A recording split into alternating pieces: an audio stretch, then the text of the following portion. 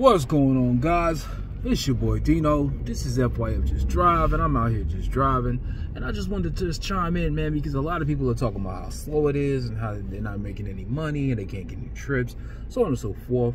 And I just wanted to chime in just to let people know, man, it's not going to be easy money during this time of the year. There are certain times of the year where the money slows down, things slow down, and it's just people slow down. You know what I'm saying? Right now, school is out, a lot of the kids are out of the city a lot of the parents are home a lot of the people are off you know what i'm saying? Things are going to pick back up later on you know as the new year carries on so on and so forth.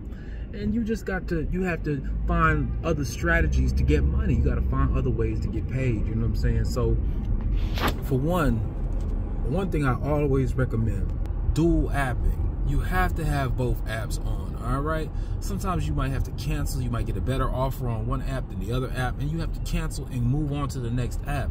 Uh, right now i'm on my way to a Lyft pickup. It's it's a quick short pickup 10 minutes for four dollars. Not something i would usually take but because it's slow i'm taking it. And that's what you have to do. You have to modify your strategy. For me i need my $300 every day and part of me getting my $300 every day is working until I get it. I don't stop until I get what I came for. I don't say, oh, it's slow. Oh, I only made $85 this in five hours. It took me five hours to make $85. Oh, no.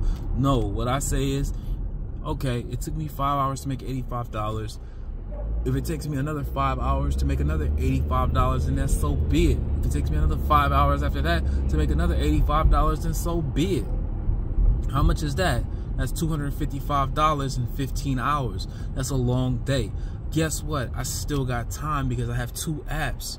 If it takes me 20 hours to make my $300, I'm going to take 20 hours to make my $300.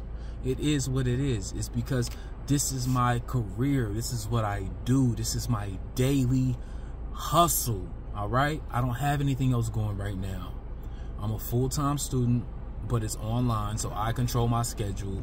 I work out every day, and I do Uber and Lyft every day till I get my $300 equaling out to my $2,100 a week or my $8,400 a month.